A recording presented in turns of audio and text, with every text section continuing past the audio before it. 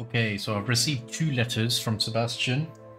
I shouldn't have reacted so bitterly about your goblin friend. I apologize. I hope we can finish what we started with the triptych. Uh, please meet me at the southern coast. We can search for the final canvas piece. Uh, I shouldn't have reacted so bitterly about your goblin. Oh, uh, the relic is the key to saving Anne. I know it. Meet me outside Feldcroft as soon as you can, Sebastian. So, the quests. We've got two for him. We're gonna do the side quest first. Track, locate. There. Grapple.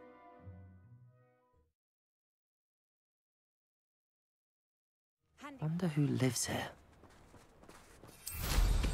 Well, how We're not even allowed here because of uh, the uncle. Bastion, a lost relic from a catacomb which requires a dark sacrifice. I know how it sounds, but if this can help you, it's worth the risk. Does Ominis know about this? He helped find the scriptorium where we discovered Slytherin's spellbook. Very well. If Ominis will be there, I'll meet you. We don't have much time. Solomon wants to leave Feldcroft. What?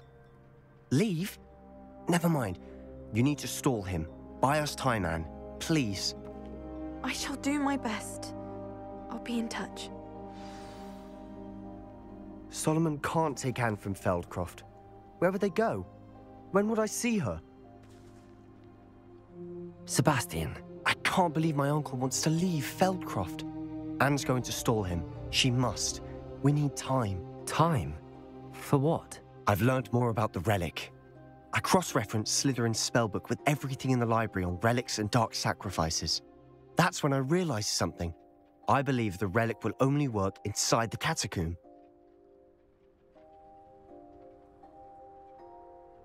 So we have to get Anne to the catacomb and then conduct a sacrifice? Seems risky. It'll be worth the risk. Our biggest hurdle may be convincing Ominis. And we'll only give this a chance if he's on board. And we have to keep all of this from your uncle. If he goes to the headmaster, we could be expelled. Let me handle Ominis this time. As for my uncle, he's not an Auror anymore. What he doesn't know, well, won't hurt us.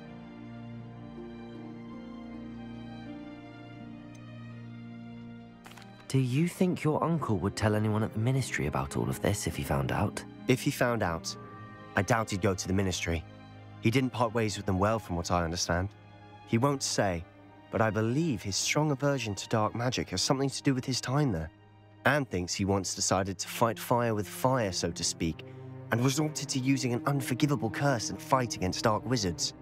At least that's what she thought she heard. When he realized what his job had led him to become, he left rather abruptly. So, I'm not sure he'd go to the ministry to report on his own family using dark magic now. Good luck with Ominis. Until we meet again. I shall let you know when the four of us should meet at the catacomb. Look for my owl. See you soon.